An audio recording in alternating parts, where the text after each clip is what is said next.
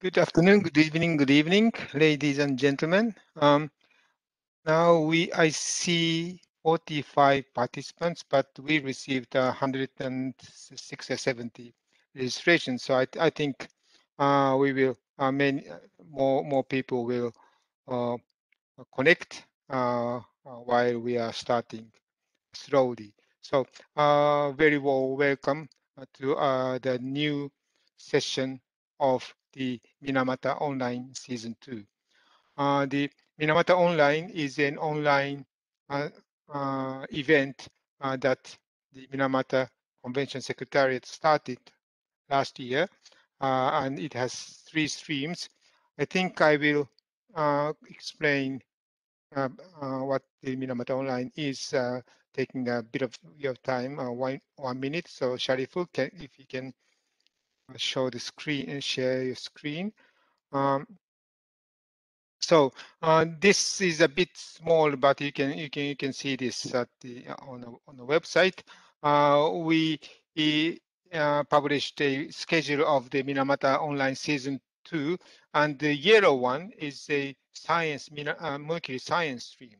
Uh, the the gray one is about the implementation, support, and review, and the the, uh, the red one is uh, uh, preparation for the conference of parties. So uh, the the uh, the Mercury Science stream uh, this for for this season is convened in full cooperation with ICMGP International Conference on Mercury as a global pollutant. So I data I will invite uh, Joy Leaner, uh, the co-chair of the ICMGP 2022, uh, to say a few words. next slide, please. So uh, today, uh, th th this session is about global change and biogeochemical mercury cycling, which is one of the topics of the, the synthesis paper uh, to be presented at ICMGP, to which Joy will speak to. So I will just make a bit of uh, logistic or housekeeping remarks. The next slide, please. Uh, so um, uh, the participants are automatically muted and, and uh, we may have uh, opportunities for, for uh, oral questions, but basically we will pick up the questions in the Q&A box. So if you have any questions, please put uh, use the Q&A box and send it to all panelists because if you if if you uh, uh, uh send send questions to only one one speaker, uh, the the moderators can can can can see it and he he will not be able, able to pick it up. So please be make sure that the, your questions is sent to uh, the the all the panelists. And if you have any the uh, uh, problem with with technical problems and so on, then then you can you can use the chat box and and uh, send your message to uh, the uh, uh, to to the host. Next slide is my last one, and which is an agenda, and we are at the opening, and then the, we we will have three presentations that Rob will, will introduce, and then we will have a panel discussion. With this, I'm uh, handing over to Joy, the co-chair of ICMGP. Joy, floor is yours. Thank you, Eisaku, and uh, thank you for the opportunity to share with you the mercury um, as a global pollutant, um, the ICGMP G, um, MGP uh, partnership with the Minamata Secretariat. And uh, welcome also to all participants here. I see we are now 59 attendees. And so um, I thought also to just share with everyone um, the recent developments in the um, in respect of the conference for 2022. As you aware, the conference would have happened actually this past week. Um, so South so your uh, delegates would have been in South Africa this week had it not been for COVID.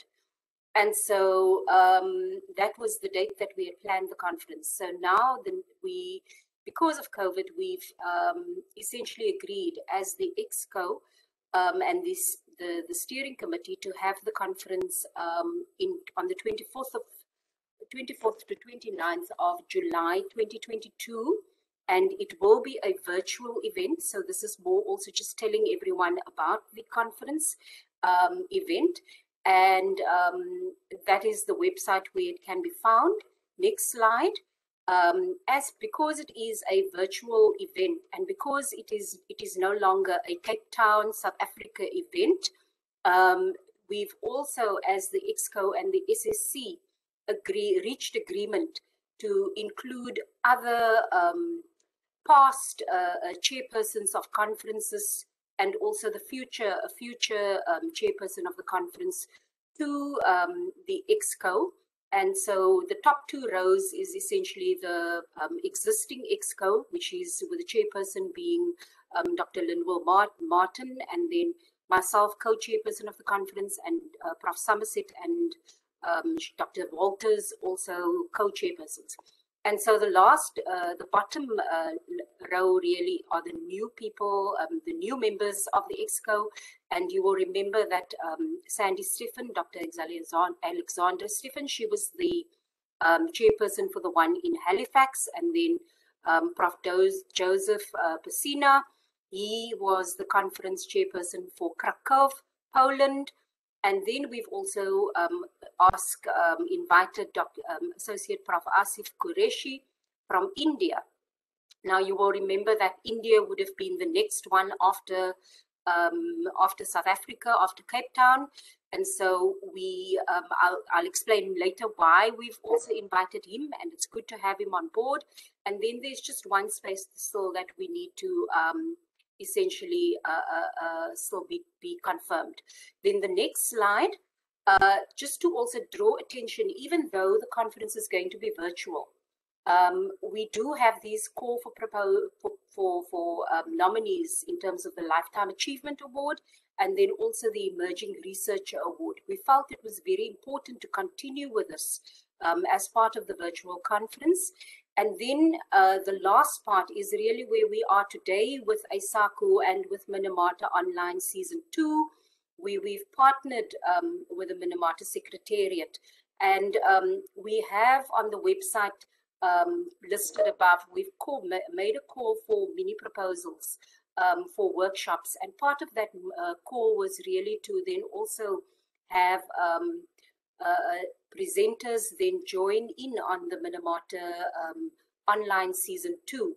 And so basically as the first part of the Minamata online season two, we've included uh, for the first four um, uh, uh, months, um, essentially running from July up to October, we've included the um, the present presenters who is currently running with the lead, they are the leads on the synthesis papers for the Mercury um, conference, the virtual conference. We've, we, we've agreed to continue with the synthesis papers. And so they will be taking us through in July today, and then um, August, September, and October.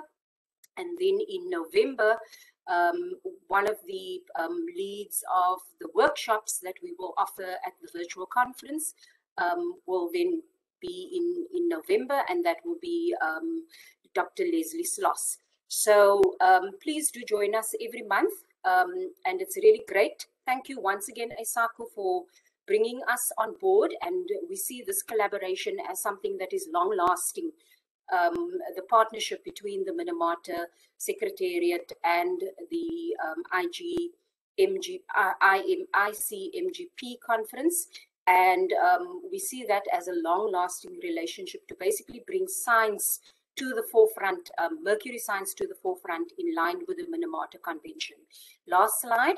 Um, and so uh, just to indicate to those who are not aware, the conference uh, will now be taking place face to face after the virtual one in 2022. It will take place in uh, South Africa, in Cape Town, beautiful Cape Town, as you can see.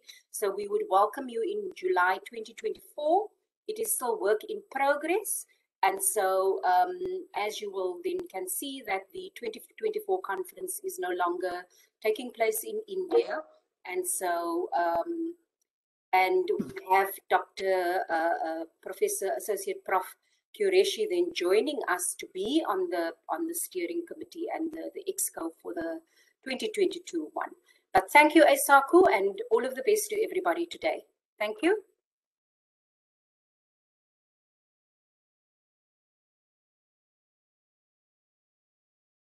Thank you. Thank, thank you, Joy. So sorry I was muted.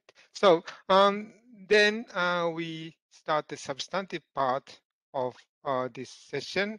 And uh, Rob Mason uh, kindly accepted to be a moderator of this session. So I totally hand it over to, to Rob. Uh, thank you, Eisaku. Um, I'm very happy to introduce and moderate this um, discussion today um, to um, people I know very well. I've known both Jeroen and Amina for a long time. Uh, some of you know that Amina was a PhD student with me a little while ago. Um, and so I just want to um, give some background. Jeroen is currently the research director at CNRS in Toulouse in France. Um, I think I met him when he was a PhD student at the University of Florida. Um, so he got his PhD at Florida State University in 2003 in geology. Um, he actually has his MS, MS degree from Utrecht University, which he completed in 1998.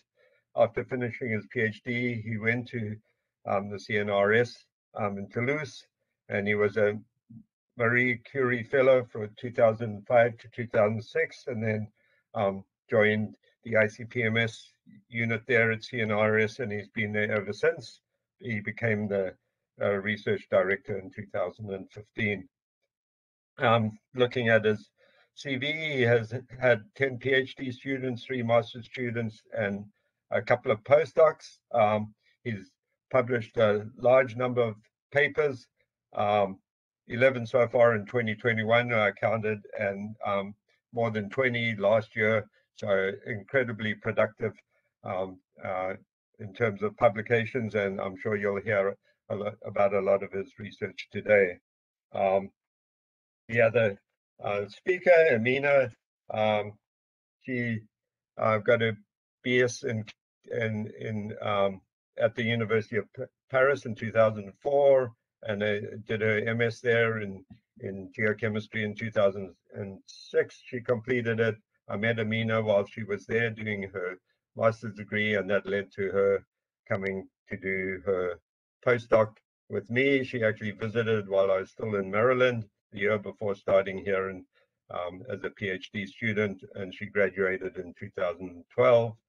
Um, after finishing here, she was a postdoc at Harvard School of Public Health um, and from 2012 to 2015, and then a research associate at the Harvard uh, School of Engineering and Applied Sciences um, until 2019 when she became um, an assistant. Prof- 2019 she became an assistant professor at, at uh, in geosciences at the Scripps Institute of Oceanography, uh, which is part of the University of California, San Diego.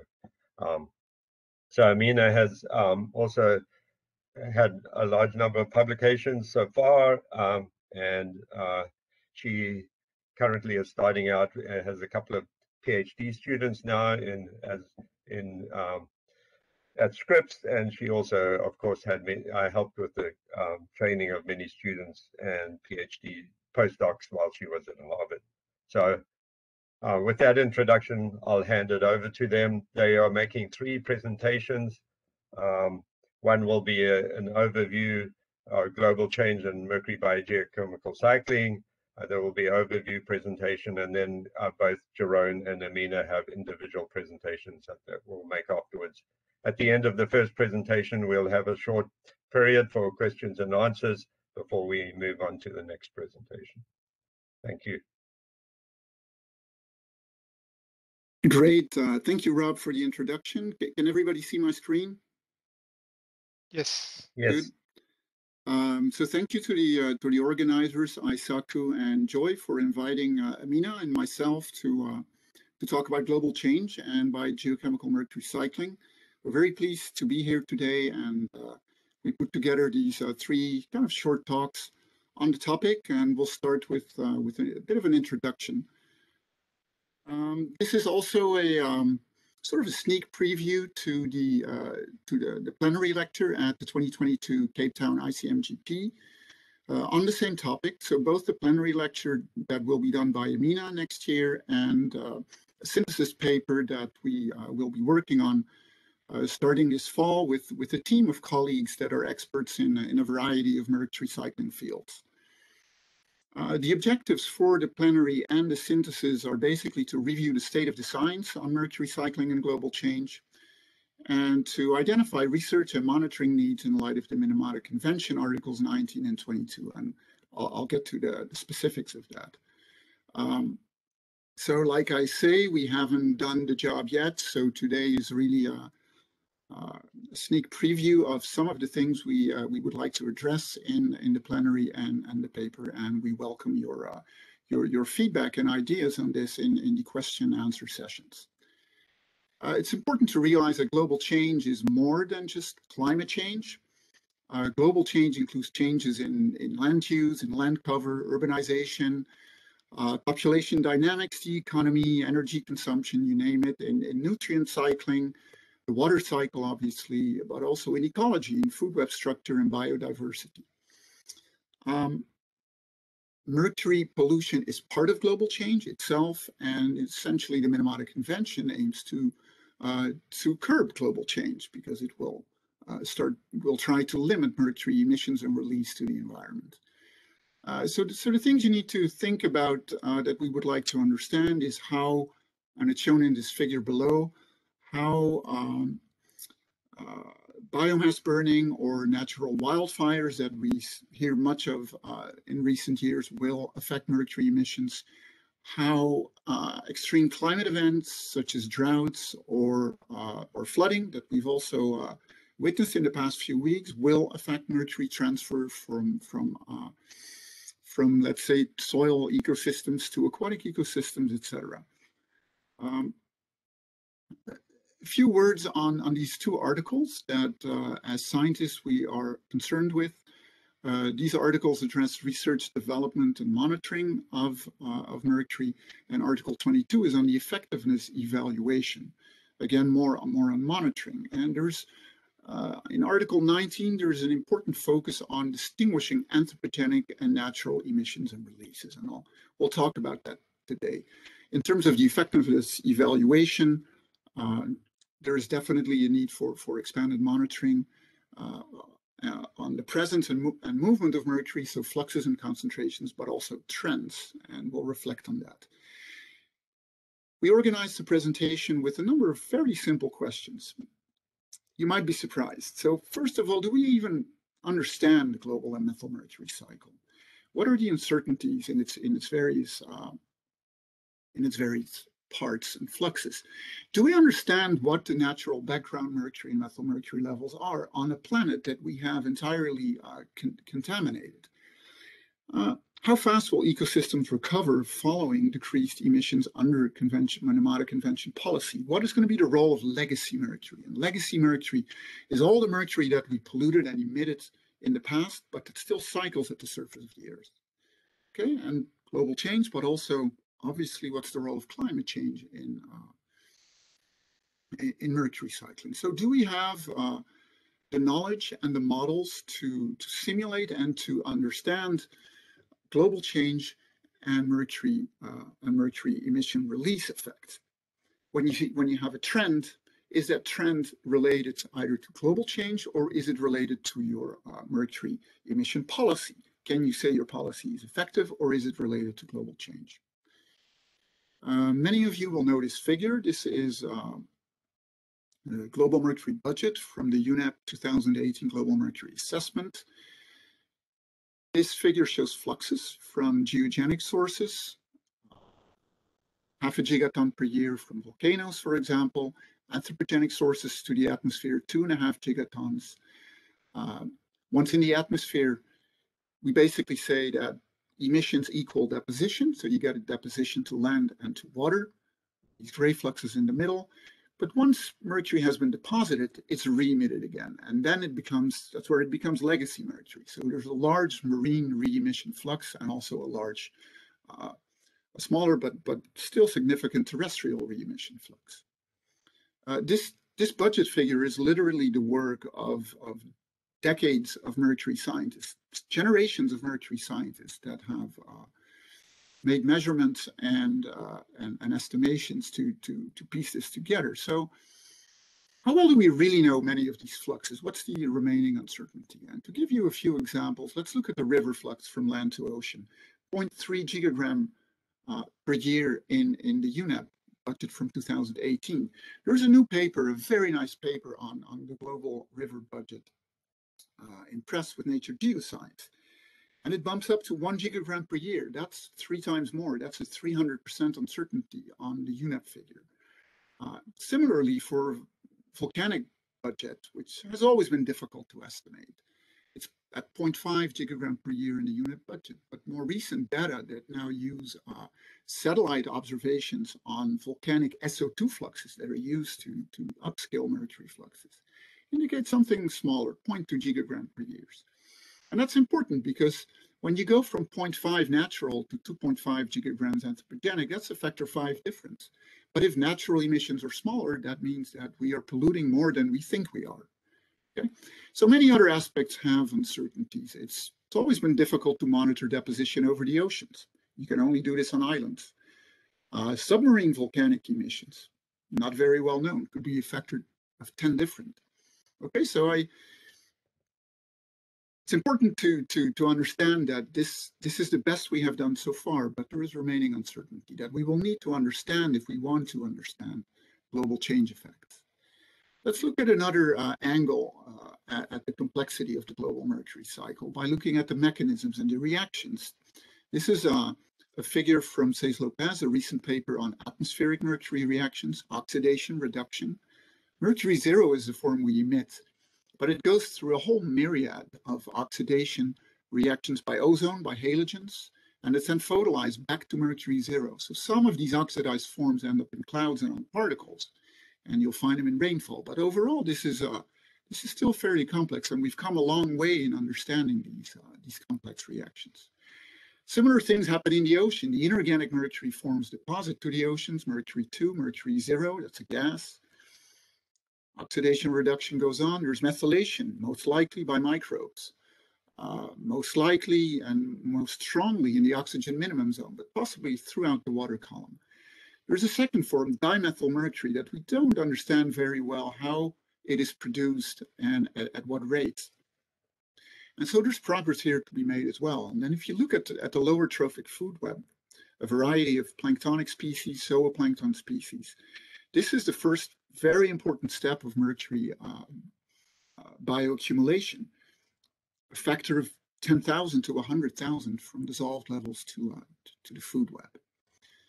If you then go to the higher trophic uh, food web, again, very complex interactions. This is a figure for the Arctic. And then we have humans, right? Uh, neurotoxic endpoints, heart disease in adults, uh, complicated interactions with selenium, so overall, uh, this is a very nonlinear system, right? If we want to understand how global change or environmental policy uh, cascades into exposure effects, we, we need to understand what we're, uh, what we're talking about. Uh, so let's take a look at that second question, uh, natural background of mercury levels. These are also figures from the, the UNEP GMA.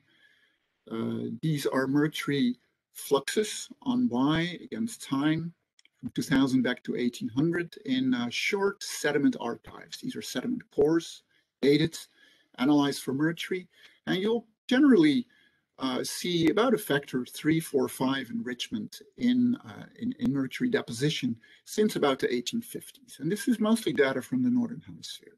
And this number, many people take this for granted. This is, this is what we understand. We've polluted the surface of our planet by a factor of 4.5 thing is, if you if you take a look at much longer radiocarbon dated sediment, but also peat archives, you get a very different picture. This is work from uh, one of my PhD students, Chuxian Li.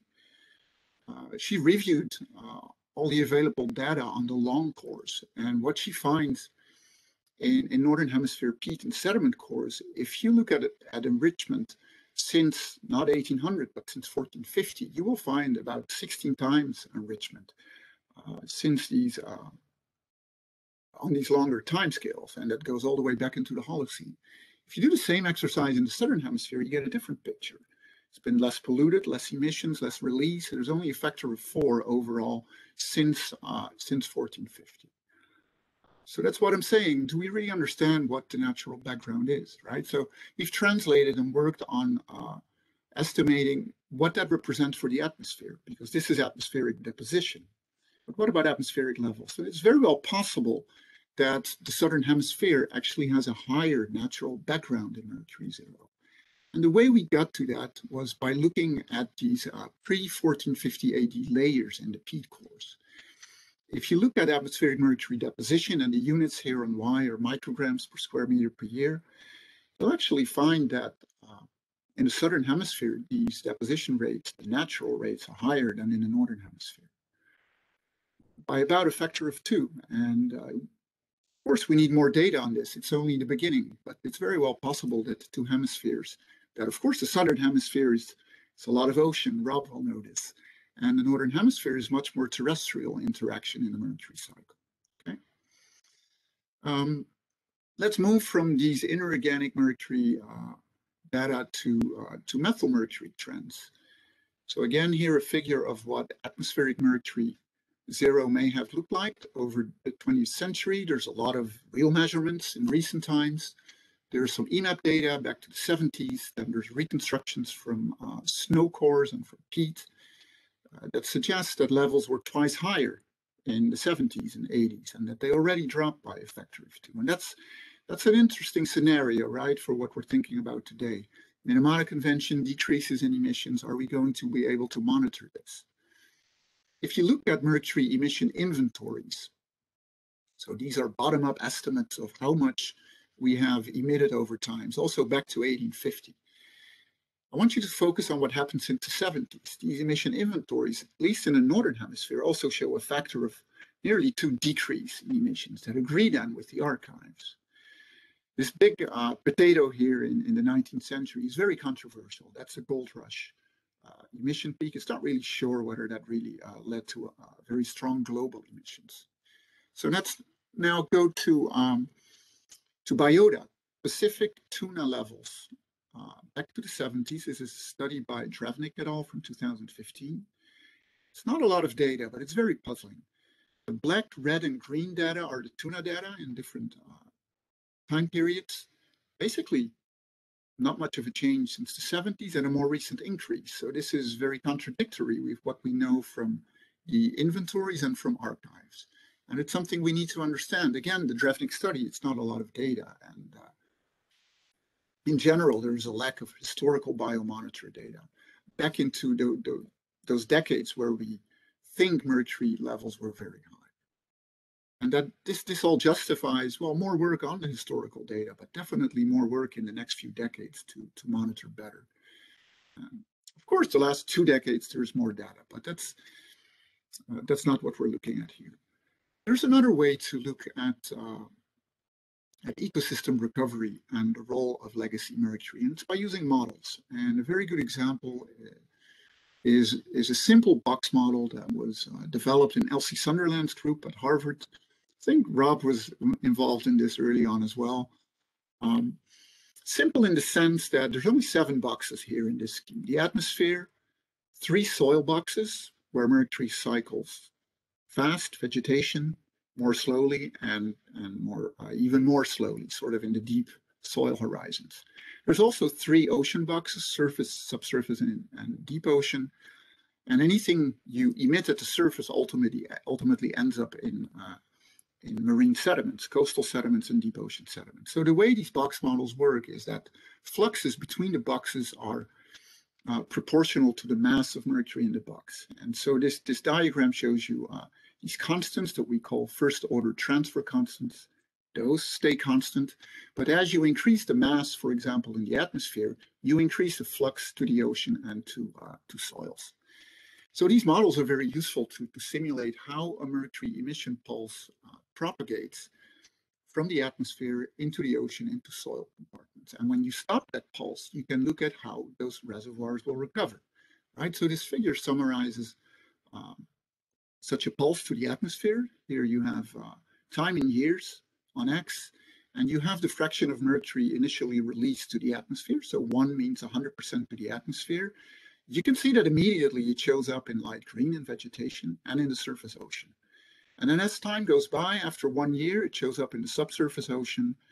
After 50 to 200 years, 500 years shows up in the deep ocean.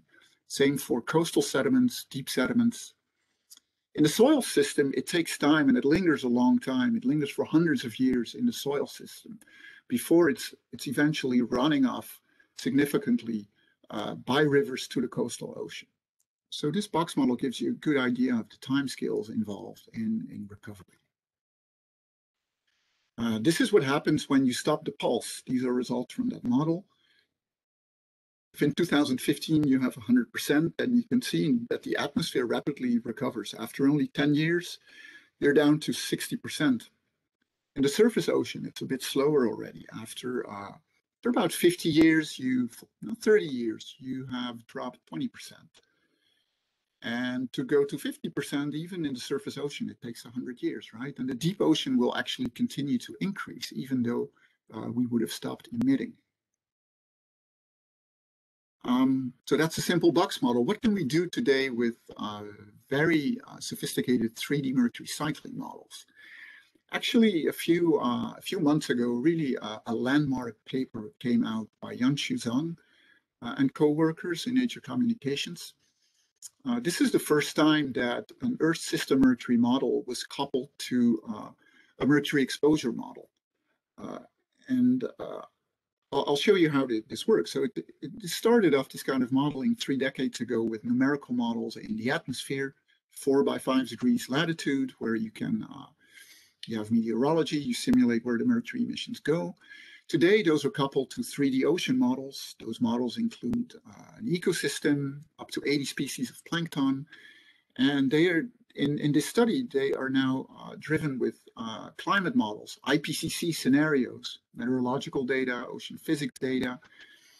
And so that Earth system model is then in the lower scheme coupled to a mercury exposure model that takes into account statistics on, on food, methyl mercury in food, food intake, population projections, uh, different disease patterns in different countries, to translate exposure into uh, IQ loss, into fatal heart attacks in adults, and that eventually translates into economic loss. Um, results for this model are, are, shown here from the paper. Uh, these are per year uh, decrements in IQ, for example, in the upper left uh, figure, where you will recognize that countries that rely on seafood, including uh, Greenland, Scandinavia, Southeast Asia, Japan, have a, a stronger IQ decrement than countries that where fish is less consumed. Heart attacks relate heavily to uh, other health factors. Uh, so Russia, India, and China are impacted here. Uh, economic losses run into the billions of dollars per year. And uh, in this final lower figure, it all adds up to uh, to something on the order of 200 billion US dollars per year in, in the cost of mercury cycling, uh, mercury emissions. Uh, some more figures from that model. In the lower left-hand figure, they simulated between 2010 and 2015 how different uh, environmental policy scenarios may propagate through this, uh, this cycling and exposure model. So you have three colors. In black, basically a flat line, current practice, current total mercury emissions stay the same. Then you have a green curve for maximal feasible reduction and uh, red curves business as usual. And you can see again in these uh, 3D models that atmospheric deposition responds relatively quickly. The soils do not respond quickly, but in the ocean, the responses are also fairly quickly. And that brings hope that, uh, that policy will limit mercury emission and exposure. Okay, so I'm, I'm arriving at the end. Uh, yeah, so our challenge is to, to understand all of these complex interactions if I fall back onto the questions we asked at the start, then, uh, then sort of preliminary answers might be something like, do we understand global mercury cycling? Yes, there are uncertainties. We know the background levels? Yes, but there is debate. Uh, work remains to be done. How fast will ecosystems recover? So this range of models does show that probably marine surface ocean ecosystems might recover rapidly, terrestrial, definitely slowly, and coastal, who knows, intermediate. Uh, can uh, can these type of models and, and, and the knowledge we have today and that we will gather help us um, well help simulate and understand the differences between global change effects and emission uh, release effects? The answer is likely, but uh, we definitely have science gaps to fill. So uh, we'll be working is, on this over the year, and we invite you to uh, to to listen to the plenary lecture next year. And so in I think it's time for questions, and then we'll do two more specific talks on, on case studies.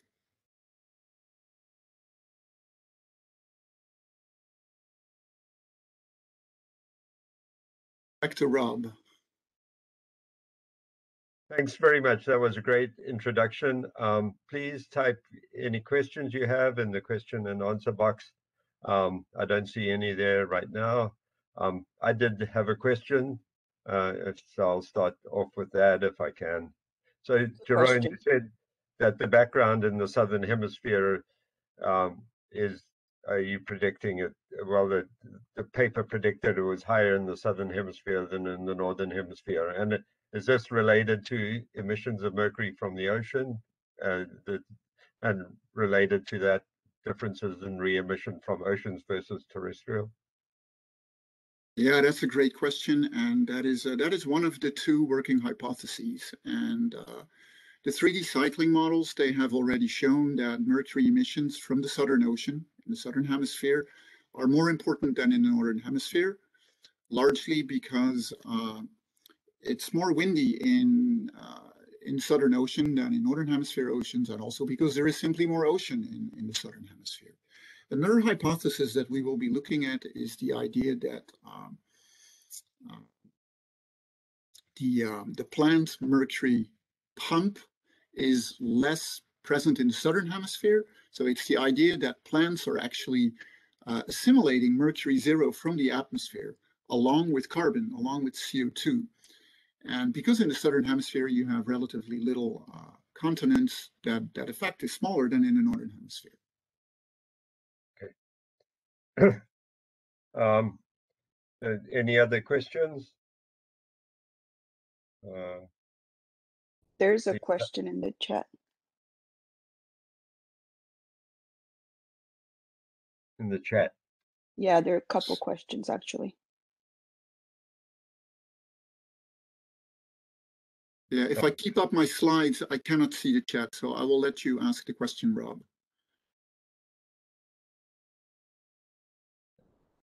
So um, there was a there was a comment about the inclusion um, of uh, image of a mouth with a dental amalgam. Uh, the role of dental amalgams is neglected.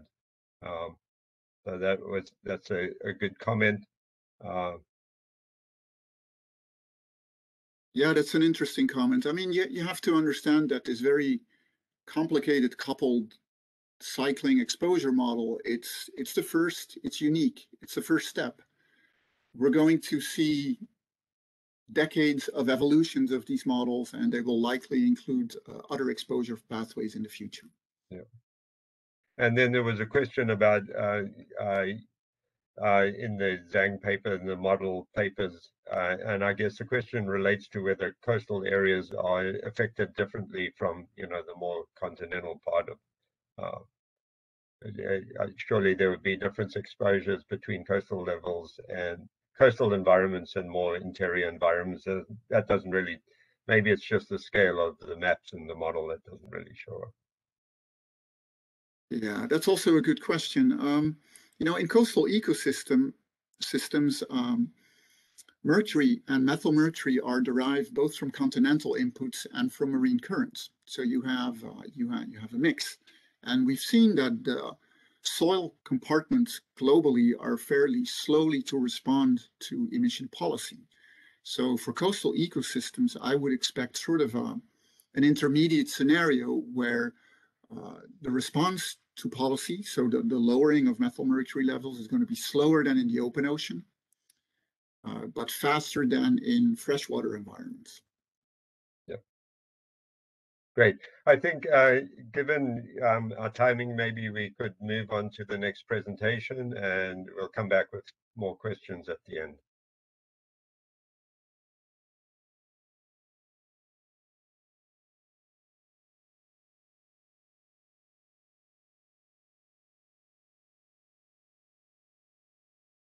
Everyone. Thank you for having us here today. Um, as you've guessed, I will be talking about trends in fish, uh, more specifically, as an example of some of the possible impacts of uh, global change um, on on fish trends. And uh, I think Jeroen did a pretty good job setting up this stage, so I don't need to go into the details, but we can also talk a little bit about the uncertainty. Uh, I'd like to apologize. It's kind of early for me. I'm usually like not a morning person, so I may be a little unclear, but hopefully it'll still it'll still be uh, not too painful. If I can go to the next slide. so um, mercury has been used and released by humans for thousands of years. Um, and in part that's uh, built into this uh, legacy mercury that uh, Jeroen talked about. Uh, it, it is a fascinating element in that sense that it has all these physical and chemical properties that humans have found uh, really interesting and useful for a long time, which is why it is uh, an environmental issue that it is today. Uh, it's been used, um, so the, the, the mineral uh, mercury cinnabar is this really nice and bright red pigment that has been used um, in, as you can see here, pottery. Um, it, has been, it's had, it was believed to have uh, medicinal properties and was used to treat all kinds of treat all kinds of diseases, including, um, you know, syphilis, of course, um, uh, amalgamation of gold. So uh, really uh, wide usage of um, mercury in artisanal gold mining. Um, and of course, um, many industrial, since the industrial area, may, many industrial uses that you um, you may see every day around you, or actually maybe not necessarily connected to the the mercury cycle that we're talking about, but it is it is present. You've you've seen those CFL light bulbs that say a little sticker on them. Most of those UV lights have a little sticker on them that says there's mercury in them. And so we we are using mercury and we are releasing mercury as a consequence. Um, and I think this goes back to one of the questions in the chat, which mercury species uh, is the worst for the environment? I think someone asked. Uh, so there are several species of mercury, as, as uh, Jeroen has mentioned. Uh, there's the or inorganic species of mercury. Um, and these are, uh, in terms of uh, neurotoxicity, they're not as, as, as, it's not, they're not as bad because they have a, a relatively low absorption rate in the organism. So if you, for example, ingest some inorganic mercury, most of it is going to be processed by your metabolism and get, get rid of. Um, on the other hand, you have uh, things like uh, methylmercury, which is the organo uh, species, and this one has a really high absorption rate. It, it, you know, once you ingest it, a big chunk of it stays it in in your body, accumulates in the brain, where it can create all kinds of problems But interacting with proteins, whose role it is in enzyme, whose role it is to kind of maintain the health of your nervous system, and um, and so as a result, uh, it's particularly damaging to um, individuals and things that have a central nervous system. Uh, everything that does not have it obviously is fine. Uh, well, not obviously, but may be fine, I suppose. Uh, and uh, of course, uh, you, some of you may have heard of uh, Mad Hatters, and that's because people were using mercury in the felting industry to make felt that is used in hats and uh, that was a fairly common practice in, in, several areas, including where I grew up as a as a PhD student uh, right outside uh, Connecticut, uh, where they were using uh, mercury for in the felting industry, and uh, they the vapor that are released have created health issues for the workers in those plants. So as I've said, uh, we have um, a lot of uh, both historical usages, but as well as uh, really diverse industrial usages more recently. Uh, we know that emissions from coal burning, um, it releases mercury into the environment. We also know that uh, mercury is a neurotoxin and um, uh, a lot of the exposure today, uh, unless you work, uh, you know, uh, you've worked in a felt in a factory, uh, a lot of the exposure to mercury is through consumption of fish. Um, but what we do not know is uh, where are the trends uh, going so that mercury that has been released over time that is interacting with all those different processes in the environment uh, how does it then what how much of it ends up in the fish and uh, where is that going as our environment is changing and as our emissions are changing? This is particularly important and this has been driving some of my uh, most recent work uh, for population that are at greater risk of exposure uh, these population tend to consume uh, large quantities of uh, predatory fish. Uh, they rely on them for um, both uh, nutrition, but also social well-being and cultural well-being. And so it is important to make sure that the levels of neurotoxic species such as mercury, but also many others remain at levels that allow people to enjoy traditional foods. Uh, unfortunately, it's not uh, just restricted to, um, a, it's, it's not just something that is a localized issue. This is also a global issue where um, mercury exposure comes from all over the place. So it makes it very difficult to track uh, the sources of mercury to people's food because the food industry itself is very global. Um, so um, for example, this is a pie chart from Elsie Sunderland's paper from 2018 looking at a US population exposure during this period, uh, 2010 to 2012, um, where is the methylmercury coming from uh, in, in the diet in general? As you can see, uh, we have the North Pacific, equatorial South Pacific that provide most of the mercury exposure, but also spread around from other uh, ocean sources. And this makes things difficult because if we do want to reduce uh, exposure, we do have to tackle this as a global issue, which is good because that's what it's being is well, it's it's good that it's being done at the global level because this is a global issue. Uh, this is an example of uh, the methylmercury intake in the US population. And as you can see here, uh, tuna is leading uh, the way. And that's because it's readily available. People like to consume tuna. You can see pictures of canned tuna, but it also has elevated mercury level. Um, as a contrast, you have shrimp, which is number two here. Shrimp has relatively low levels of mercury, uh, methylmercury, but uh, people uh, consume a really large amount of shrimp. And so that ends up uh, being a pretty substantial source of methylmercury intake. Uh, and uh, this, I guess the, the shrimp consumption has been increasing quite a bit with um, with just the availability of it, where it used to be a pretty niche luxury item, but now you can find it everywhere. So that's increased the intake of shrimp.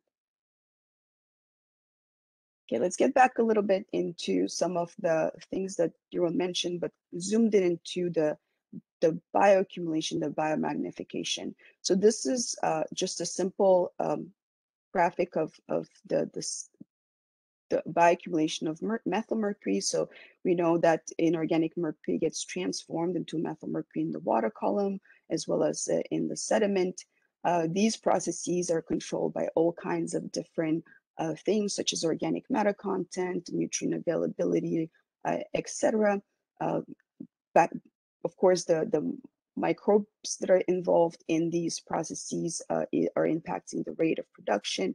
And then on the other side, you have once this methylmercury is produced, um, what is driving the uptake of methylmercury? So you have, uh, again, organic matter content of the water, as well as other um, elements, compounds in the water that may facilitate the uptake or prevent the uptake. And of course, uh, something that has had slightly less um, uh, questions um, answered and a lot more uncertainty is okay, how once the, it enters this phytoplankton, what happens to the methylmercury?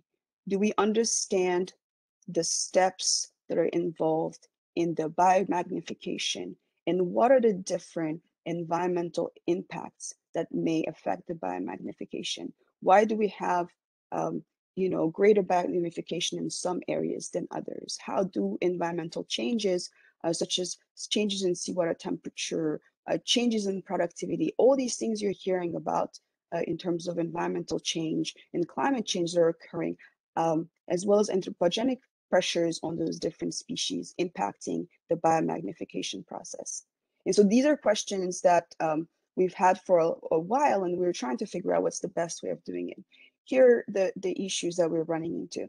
Uh, you could do uh, incubation experiments in, in, in a beaker or like small system, and then look at, for example, uptake of methylmercury into different uh, phytoplankton sizes, and then make conclusions for that. You can maybe have a couple trophic levels, or maybe even three trophic levels to look at how mercury propagates across those little uh, mini food webs. Uh, but what we we cannot really do is go all the way to the high trophic level fish um, that live for 30, 40 years, uh, interact in complex manners with, with the environment, but also other species.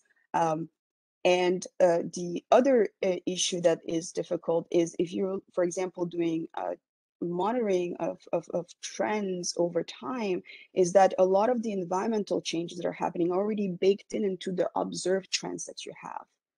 And so it's very difficult to deconvolute why are things changing. And for example, you know, fish uh, cod concentrations? Are they changing because of mercury deposition or emission, or are they changing due to uh, food web structures or other things? And so it was it was um, why we decided to create this uh, model to be able to um, at least test within this virtual aquarium uh, how do food webs potentially respond to those environmental changes that are all occurring at the same time? And once we build the model, we can force it with environmental changes that, like I said, happen at the same time. We can force it with changing seawater methyl mercury concentrations. We can force it with changing uh, seawater temperature we can force it with uh, the inputs in organic matter and the type of organic matter that we put in. Uh, for example, you can look at, well, you know, you could have a lot of, of organic matter production because you have a lot of phytoplankton. Now productivity is increasing because, you know, um, the temperature is higher. Uh, or nutrient inputs has increased. Or we can uh, look at the input of terrestrial because you have a lot more rain in some areas that are washing down a lot of nutrients into the ecosystem, washing down in a lot of terrestrial organic matter. So the idea was to, to create this virtual model where we can play around with some of those parameters and look at how the food web responds across uh, multiple trophic levels. And so the, the model needs to be mechanistic where in a sense we try to put in our best understanding of how do uh, things grow in the water. So like how does phytoplankton grow or copepods grow and who do they eat? Uh, so the, you know, for example, as you know, um, a predator will have a preferred, you know, panel of choices of, of food that it likes to eat among like three different species.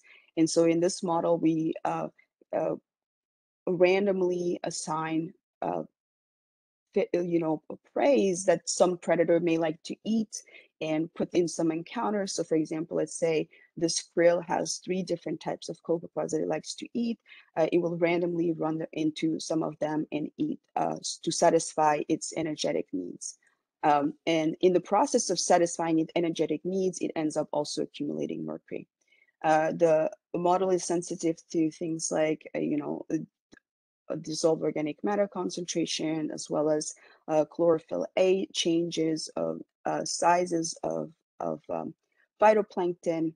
And, um, and so the first step was to make sure that at least in the system where we were working with it, which is was the, the Gulf of Maine uh, area. And the reason we picked that area was because there was a lot of data, and as uh, Jeroen has mentioned, there's not a lot of a long, like long-term monitoring data of of the, the species, uh, the mercury concentrations, but also uh, the dietary uh, uh, preferences of those different animals and how those have changed. And the, the Gulf of Maine region has actually know has been uh, tracking a lot of these things for a long time, which has made it really, really useful for us to be able to uh, parameterize the model, um, and then and then evaluated it uh, to the best uh, to our capabilities. And so this is uh, phytoplankton uh, concentrations uh, modeled versus measured across a range of sizes. We also looked at you know zooplankton concentrations in the model compared to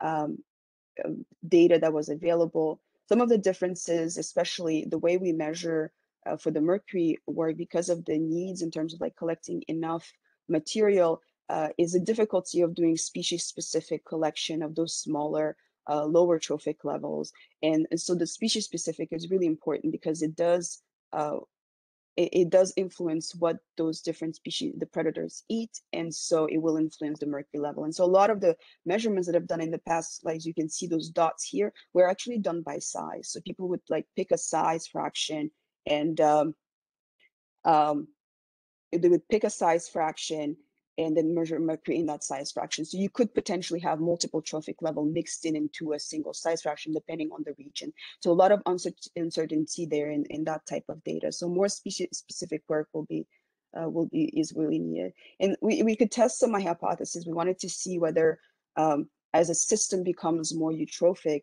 uh, going from oligotrophic, so like low nutrient, low pro uh, productivity, to high nutrient, high productivity, whether we will see a response in the in the food webs in terms of uh, mercury levels. And what we're seeing is, for example, as you go from this low productivity to high productivity uh, system, uh, for phytoplankton, we see a decline, which was predicted and seen in, in experimental work, a decline in methylmercury concentrations. However, it, using our model, you could see that once you go to the higher trophic level, we see this flattening on the curve. So it looks like eutrophication in the system does not propagate to those higher trophic level, even though it substantially impacts uh, phytoplankton concentrations. Uh, we expanded the, the food web to model to, to uh, higher trophic level and this kind of shows the the the the, inter the, interactions that we put into the model based on um, the stomach content of the different fish species that we were working in, in and I guess not just fish we also had some um, crabs and lobsters and etc um, so I wanted to make some a few points about some of the the, the importance of energetics uh, in in terms of accumulating mercury. So a lot of discussion in the past has been really focused on the trophic level of the different species and um, oh, in and the energetics of the different species are actually driving a lot of the, the mercury accumulation. And the reason for that is because depending on the energetic needs of different species, they will accumulate more or less uh, mercury, uh, regardless of the trophic position they're, they're in. And the reasons for that is, is I like to use this Michael Phelps analogy, is that um, he consumes about 10,000 calories, 12,000 calories at the height of his of his Olympic career, and he's not. He's that's about like six times larger than a you know a regular human like myself, who about consumes about 2,000 and and less. Uh, yet he's not six times bigger than I am. At least I don't think so. So his his energetic demands is much higher. So he's going to consume. If we both ate sardines, his exposure to mercury would be substantially higher than mine, just because he's consuming and burning so many calories. And but he's accumulating all that mercury through the consumption of those 10,000 calories. So if you think about that, uh, that explains why some species. Uh, for example, uh, this is an example here, bluefin tuna, really high energetic needs, um, if you model it through regular bioenergetics uh, model, you get this flat line. We can't really replicate the mercury levels that we see. However, if you uh, you know integrate the fact that they're burning all these additional uh, calories, uh, you can um, replicate the the methyl mercury concentration in in tuna. Um, similarly, um, uh, other characteristic of those different species, for example, um, depending on their gape size, how big of a fish can they swallow?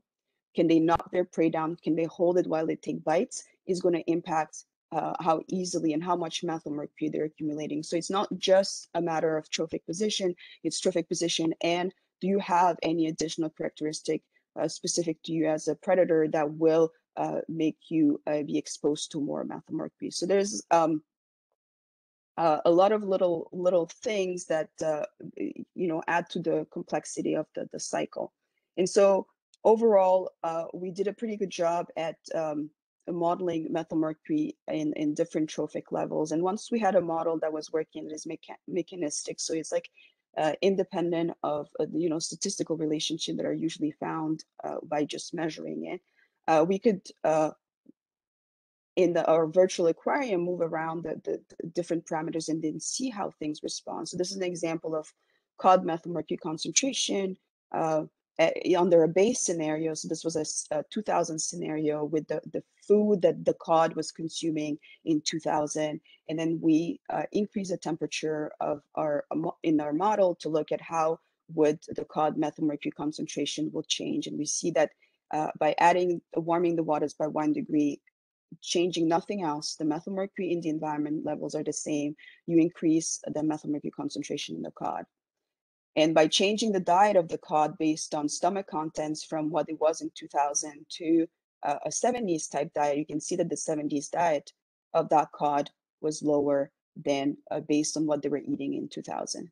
This is interesting because if you do the same thing with a fish that is also living in the same environment, more or less, uh, you know, um, exposed to the same changes in, in mercury levels if you a modeling space scenario and then changes diet to the 70s. So you can see that the 70s diet for dogfish was actually higher than what we had for cod. And the reasons for that is because in the 70s there was a crash in herring. And so uh, the species, despite living in the same ecosystem, have chose a definite alternative prey. And depending of the prey that they're going to choose, and so the crash was due to overfishing of herring. Depending on the prey that a species chooses, its mercury levels are going to be either increasing and de or decreasing. And so this is really interesting because that does add a level of complexity in terms of, you know, uh, we, we may see declining methylmercury emissions and deposition and production of methylmercury in the in the water column, but changes in the ecosystem and the food web structure itself may, you know, up or down uh, the levels in the in those uh, in some species.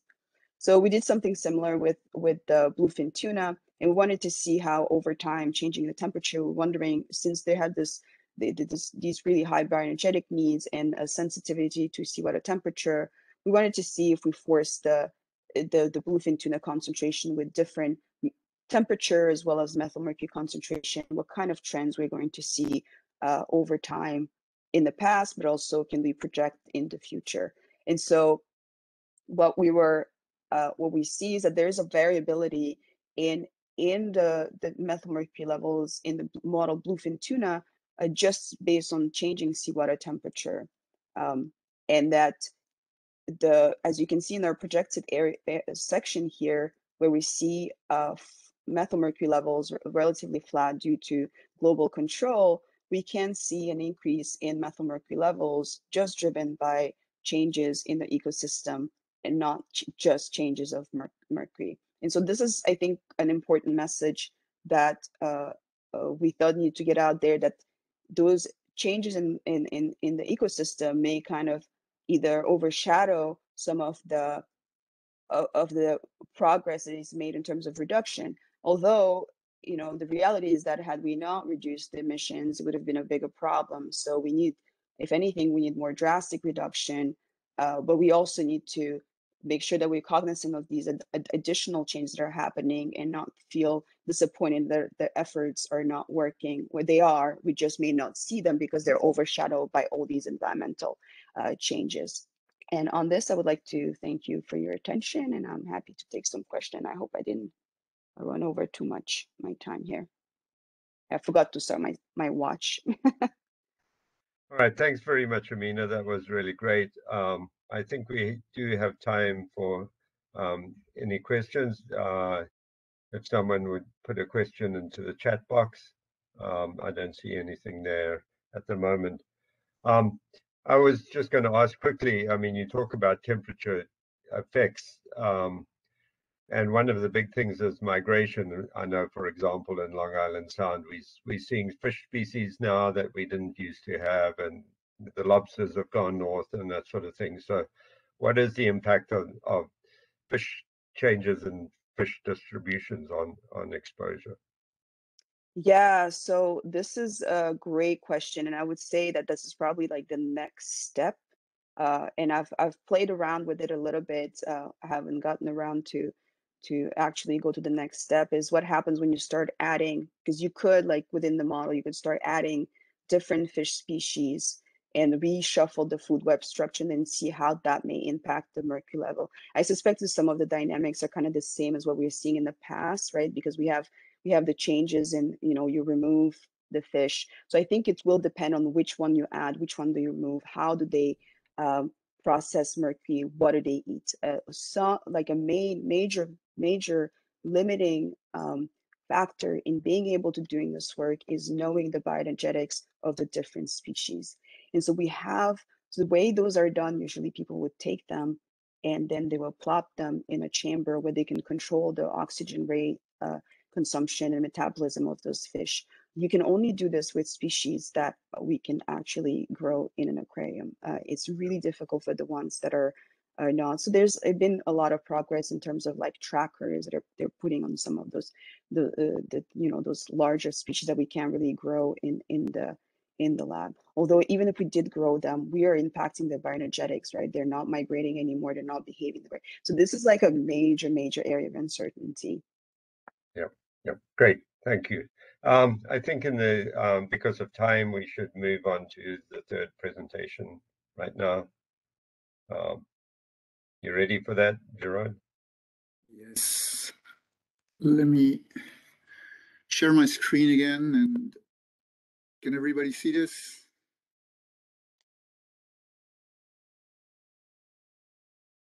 Is this okay? Can you see the screen? Yes, yes, we do. Yes. Thanks.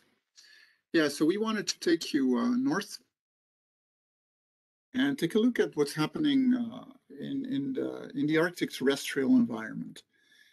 Uh, so the talk is called uh, Permafrost Mercury Feedback, which is kind of borrowed from the permafrost carbon feedback, and whether that will lead to regional or global consequences. So going to take a little bit of time to thank a number of collaborators uh, with whom I work in, in the Arctic.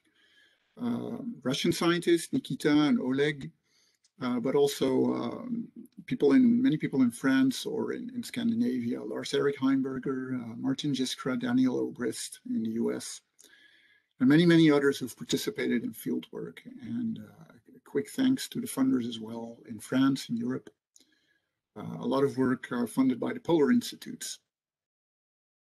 So let's go back to the 1990s uh, when it was realized that Arctic biota had extremely high mercury levels and was impacting uh, Arctic indigenous populations. And questions asked uh, early on, of course, were how does mercury get to the Arctic? Because there are not that many local point sources. And this uh, figure by McDonald et al. 2005 nicely illustrates uh, the three main path pathways to consider. So obviously the atmosphere, but not only, not only because the Arctic Ocean is a small basin, it's surrounded by continents, and it's known that uh, there's rather important river runoff, both from North America, but uh, especially from Siberia, which uh, generates 80% of, of runoff into the Arctic Ocean. And then you also have ocean currents. The Atlantic Ocean is basically feeding the, the Arctic basin, and then there's a return flow to the Atlantic Ocean that I will talk about later. Uh, so in the 1990s, work by Bill Schroeder and, and Sandy Steffen uh, discovered atmospheric mercury depletion events. This is very uh, easy to see in a time series of atmospheric mercury zero, here from 1995 all the way to 2008. So every uh, every spring, when the sun rises in the Arctic, you get uh, photochemistry with halogens oxidizing mercury, not only mercury, also ozone uh, oxidizing it, and that mercury deposits. So you get a dip, a depletion in atmospheric mercury. In the lower figure, you can see oxidized mercury forms on aerosols that are, are complementary, so there's mass balance. And then this happens every every spring, and what you also see is a rebound of mercury levels in the summer, and those are potentially re-emissions from snow. That's what was uh, thought early on. And uh, in the 2000s, that was uh, intensively studied, these, uh, these re-emissions after the AMDE event. studies here on the left by uh, Aurélien Dommergue in France that found 99% of re-emission uh, after an event.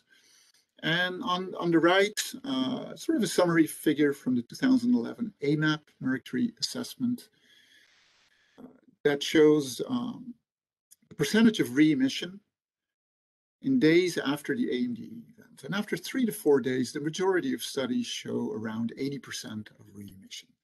So at that point, it became unclear what really the impact was of these very peculiar Arctic uh, deposition events, whether that was driving the biota levels or whether it's something else. And in 2012, more recently, a very interesting modeling paper came out from Elsie Sunderland's group led by Jenny Fisher. Uh, and in, in that modeling study, uh, it was suggested that that Arctic rivers might contribute uh, a large amount of mercury to the Arctic Ocean. The way this was done is uh, the left-hand figure here again summarizes the seasonality of mercury zero. You see the dip in the springtime, the rebound in summer, and then back to normal. And when they use one of these 3D mercury cycling models that's coupled to, to, to an Arctic Ocean model, they were not able to reproduce that, that summer re-emission, uh, that summer uh, that summer peak in mercury zero. And that's one of the regions, one of the reasons that they suggested that there must be a, missing source and might that source be uh, be uh, terrestrial rivers, but also coastal erosion. And uh, the, the number that came out of these models over the years has been on the order of uh, 50 megagrams of mercury per year, 50 tons a year. At that time, there was virtually no data on, on the major Arctic rivers, especially in Siberia almost nothing. And uh, a few teams went in. We went in with colleagues here, studying uh, the Yenisei River during uh, three years, very high resolution sampling during the flood period, uh, carbon sampling as well. We also looked at, at, at other rivers. And there's been the uh, Arctic GRO, the Great River Observatory, that worked at lower resolution, but that covered uh, the six largest Arctic rivers in terms of mercury flux. And both studies came out in 2018 and 20 with similar numbers around 40 tons a year. So it's the first time we started to understand the, the quantity of, of mercury coming in with rivers. And that's led to, uh, to um, a big step forward in Arctic mercury budgets. This is a figure from uh, Masha Petrova, a student of Lars-Eric Heimbürger, and in the, in this model, uh, there's a couple of things to, to, to notice. So you can see on the left-hand side you have the Atlantic currents coming in on the order of uh, 64 tons a year. You have atmospheric deposition, 76 tons a year, and combined erosion and river input also on the order of 76 tons a year. So sort of equally distributed. Um, in, in, these Mercury models, what in the, in the updated budget and model, what also came out is a noticeable net flux from the ocean to the atmosphere. So you have deposition, but you also have re-emission. And re-emission is larger than, de than deposition. That's, a, that's interesting, right? So much mercury coming in from uh, the terrestrial and, and, marine currents that you actually have the ocean exhaling to mercury to the atmosphere. And similarly for uh, methyl mercury, something interesting to, to note. So this is a methyl mercury budget on, on the lower right for the Arctic Ocean basin. The inputs overall are 18 tons a year, but the outputs, especially to the Atlantic Ocean, or 31. So the Arctic Ocean is sort of a bioreactor, producing methyl mercury and then exporting it to the, uh, to the Atlantic Ocean. So what happens in the Arctic has an impact uh, for lower latitudes, both through emissions and through uh, export via marine currents. Um, last quick comment. Okay, a lot of terrestrial mercury coming in, but why? Why is it so high? What, where does all the river mercury come from? And other studies have started looking at permafrost soils, organic soils, uh, and a very interesting study by uh, the USGS, Paul Schuster in 2018 in uh, in GBC. They uh, they sampled Alaskan soil cores that are shown in black on the map here, right? Measuring mercury concentrations and carbon concentrations. And you can get a, a mercury to carbon ratio. And then if you know uh, the carbon inventory of soils, then you can extrapolate your carbon budget to a mercury budget. And they, based on that uh, Alaskan data and on sort of subarctic literature data, they, they extrapolated uh, for the first time a uh, an Arctic permafrost soil budget, and they found gigantic amounts on the order of 350 gigagrams only in the first 30 centimeters. So about at the same time, we were working in Siberia, where there was no data on, on mercury in soils, working on a transect from the Arctic Ocean all the way down to, uh, to where there's no longer permafrost, 1700 kilometers, six different soil cores. And we did the same thing, mercury to carbon ratios. And in this figure, you can see a summary of those ratios in uh, the Alaskan soil studied by Schuster et al. Fairly high ratios, 1.6 uh, microgram of mercury per gram of carbon. And what we find in, in Siberian mineral soils was two and a half times lower, and in peat soils in Siberia, we found 10 times lower. So when we used uh, real Siberian observations to do this permafrost soil budget, we ended up with a far lower number, 72 gigagrams in, in the same 30 centimeters. So that's a big that's a big revision, but that is still a very large amount. And we'll try to put that into perspective by going back to this budget. Um, the Arctic Ocean itself contains 1900 and 800 inorganic mercury, and methyl mercury. It's about 3000 uh, megagrams. So 72 gigagrams is 72,000 megagrams. And if I put it in a cartoon, this is kind of what it looks like with the boxes scaled to the amount of mercury. So only in 30 centimeters of permafrost, there is a lot of mercury compared to 3,000 megagrams in the total Arctic Ocean, but what really matters is the surface Arctic Ocean, 500 megagrams. And what also matters is the atmosphere, right? Because with Arctic warming, with the thawing of permafrost soil, where is that mercury going to go? It may very well impact the global atmosphere. Um, before we talk more about that, so we know where the river mercury comes from, but where does all the soil mercury come from? Uh, so what's peculiar about uh, tundra soils, organic soils, uh, was studied by, in collaboration with Daniel Obrist in a, a Toolik station, where uh, Daniel organized field campaigns where we used uh, uh, gradient approaches gradient flux towers to measure the, the deposition and emission of mercury from the tundra compartment. And we use mercury isotopes to do something very similar between soil and atmosphere. So you, in this figure, you have a two-year time series of mercury deposition to the tundra ecosystem. So the green line that you barely see here on top, that's mercury wet deposition by rainfall, which is known to be quite low in the Arctic. Brown line is mercury dry deposition, dust, aerosols that are depositing, fairly low as well. And what was really uh, new in this study is the large mercury zero uptake by both vegetation and by soils. So every uh, every spring growth season, uh, or basically spring and summertime growth season, you would see this drop in atmospheric mercury and transfer to the soil, to vegetation, and then to the soil system. And uh, this, to a large extent, explains why Arctic tundra soils contain a lot of mercury.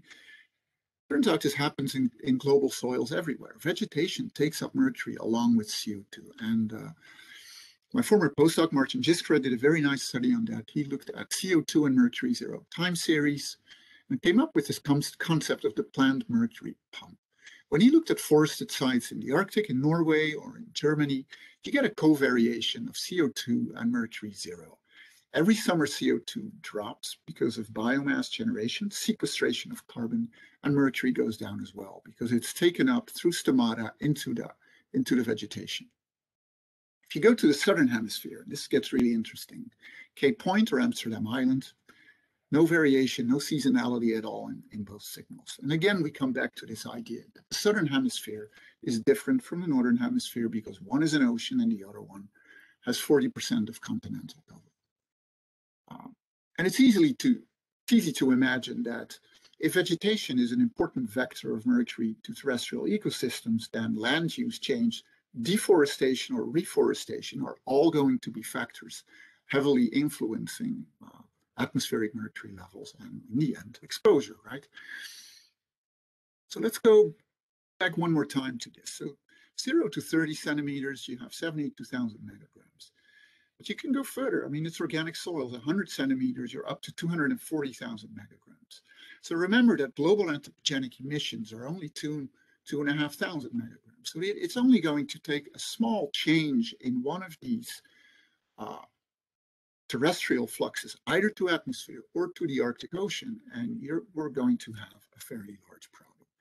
But is it really going to happen? Um, the effects we need to, to study and, and, and, think of is obviously with permafrost thawing, uh, whether microbial mercury zero is going to uh, be released from soils or from wetlands to the atmosphere. Microbes reduce soil mercury to mercury zero. That's a possibility. Um, at the same time, we're going to see enhanced mercury zero deposition by the, by the mercury pump because taiga forests are moving into tundra ecosystems. We need to understand whether soil mercury is exported by rivers to the Arctic Ocean and what then is the fate of mercury in the Arctic. Is it going to be emitted from the ocean to the atmosphere, which is what models suggest today, or is it actually simply going to be buried on the shelf and it's not going to affect anything?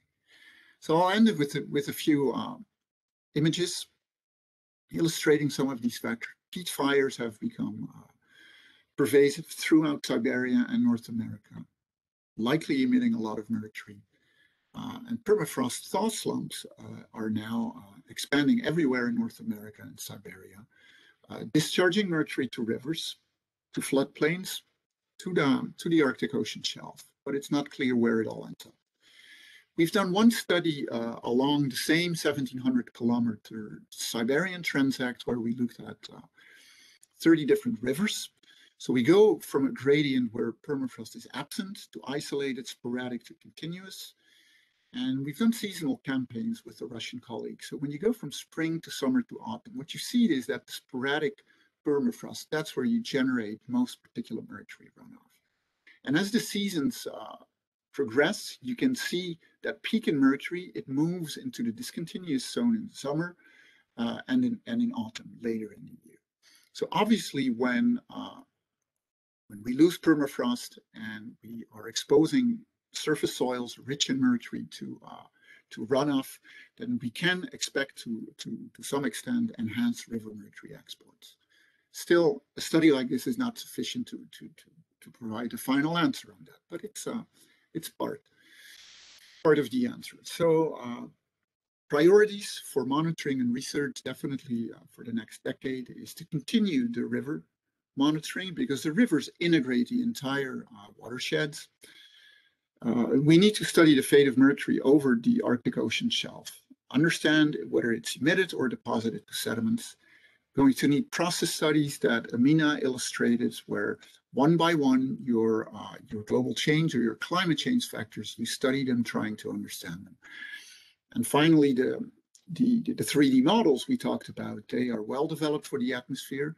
They're getting better for the ocean, but they're still lagging behind for the terrestrial environment. And we need to include parameterizations, the math, for the plant mercury pump, for permafrost thawing, and for mercury runoff. So that's that's all I wanted to say about the the Arctic. We're uh, welcoming questions again.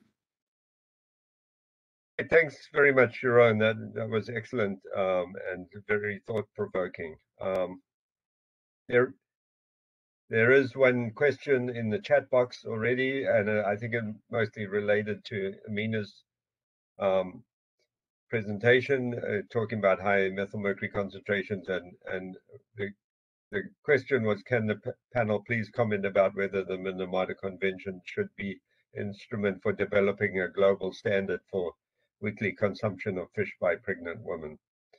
Um, so I I don't know um, whether that is something that is being considered, but it certainly seems to me that would be a, a very good idea. Any thoughts, Amina? Um, I would, I, I think, I don't know if we should have a global standard. I think that consumption of fish is a really cultural thing.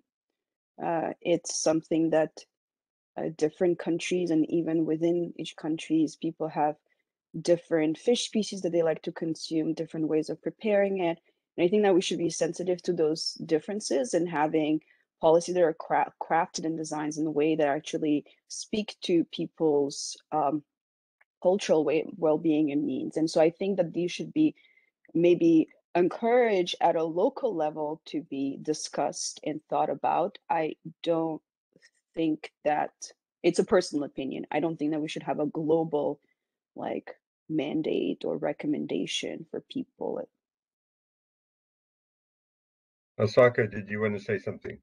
Yeah, um, thank you, th thank you. And the, the Minamata, Minamata Convention has a, a, a provision on on health, and, and it is uh, uh, it states that the the the convention or, or COP will cooperate with WHO and ILO on, on, on health-related issues. And, and so, uh, as, as, you may know, the, the Codex Alimentarius Com Committee, which is a joint project, uh, joint, joint activity here of WHO and, and FAO, uh, sets uh, a a recommended value, the, the daily consumption um, limit of, of mercury. But but uh, if when when and, and many countries translate these uh, uh, these these values into the the num uh, the the weight of of tuna or or shellfish uh, uh of the daily, daily consumption, but these are done at national level. So perhaps there, there, there may be a room for, for WHO and, and, and other uh, organizations to, to, to support countries to, to issue such uh, uh, the, the, advisories. Thank you. Mm -hmm. Thank you. Um, any other questions? Um, again, I'll jump in while uh, I wait for something in the chat box. So, Jeroen, um, are, are, there any efforts underway to try and estimate how much uh, mercury is being released from, you know, permafrost burning? I mean, I've been reading about that in the newspaper recently in Russia that there, massive areas which um, has, has anyone tried to get any estimates of the emissions? Um, yeah, I'm trying to think of recent papers on biomass burning. I think there's some projections, but uh, you know, as long as we don't have sufficient uh, mercury data on vegetation and soil throughout Siberia, such budget estimates will be uh, will be uncertain. Yeah. Um, so we've done one transect in central Siberia, but Siberia is terribly large, and we're trying to move in eastern Siberia, which is geographically very different, much more mineral soil, different mm. vegetation, more forest. So I think again, data will come out on this over the next 10 years to refine such a budget. Uh, obviously, people in the carbon cycling community are ahead of us in terms of that. Right.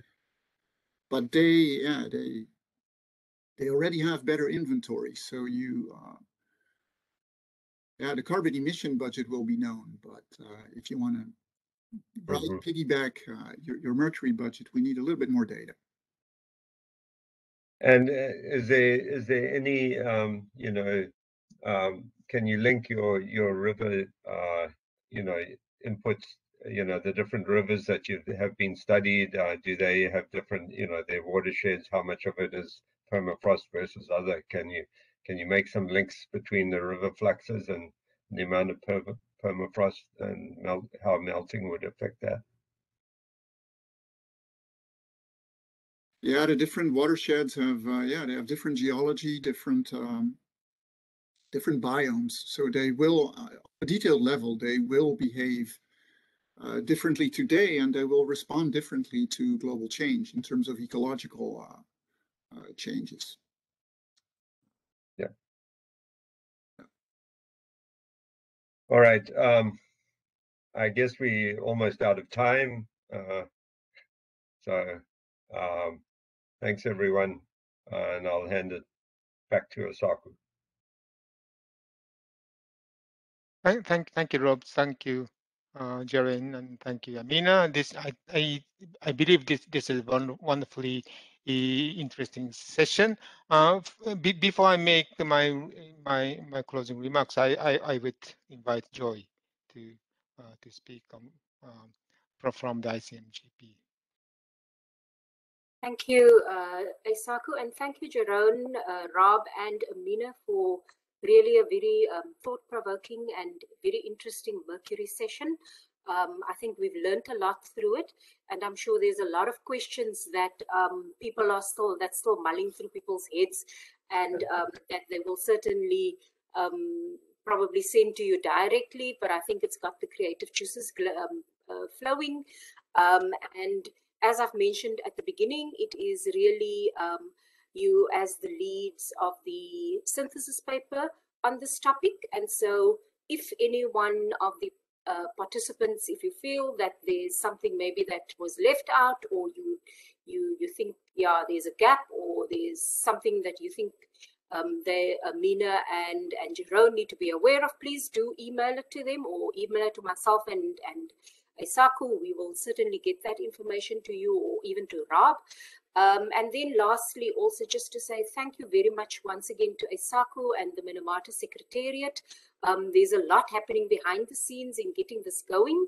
And so um, just thank you very much once again for, for giving us this platform and for Amina and Jeroen. Also, um, basically, we, we uh, spoke to them at the beginning of July. And so you really um, put your heads together very quickly on this. So, and it's excellent presentations that you've done. So thank you once again for that. And um, just in final, uh, next month we will then have um, Jenny Jenny Fisher and uh, and and uh, Larissa Schneider. Um, they will then do the uh, plenary uh, uh, talk on the the session will cover basically the southern hemisphere, Mercury in the southern hemisphere, but it, it's it's all on the Minamata online website for season two, which Eisaku them are running. So thank you very much once again, Eisaku. Back to you. Thank you, Joy. So um, the uh, the only thing I, I, would like to say is is, is that that uh, I, I, think we I believe that we made a very good start for, of of this uh, Minamata online season two. And one quite specific thing about the climate change, um, I would like to to inform inform the participants that that that uh, the the uh, Minamata Convention Secretariat and the uh, Basel Stockholm Rotterdam Convention Secretariat did, did, did a study on the chemicals and climate change and also chemicals and bi biodiversity. And, and the, uh, we, re we recently re released a report of, of, of, a study and the key message of, of the climate study is that, uh, of, of course, the, the as, as said, the, the, the the mercury cycle is a part of the global, global change. So there, there, there's uh, quite, quite a, a close relationship, uh, including the thawing of permafrost. And secondly, uh, there, there's a linkage uh, at, at, policy level. Uh, there, are co-benefits and trade-offs between uh, uh, the, the countermeasures. And also we will we, we, we should use the common tools such as the inventory and we should make uh, the uh, more more cooperation in, in, inventory de development and so on and so forth. Uh, in, within the Minamata Online Season 2, we are thinking about a, a session on mercury and climate change, but uh, we are still at that planning, planning stage. I, I think uh, we, we, we will uh, welcome any any thoughts on the on the planning. So having said this, sorry for extending three minutes, but I, I, I think it is worth it. Thank you very much, and we look forward to the next session. Thank you very much. Bye. Bye, everyone. Be safe. Bye. Thank you. Thanks, everyone. Bye-bye. Bye.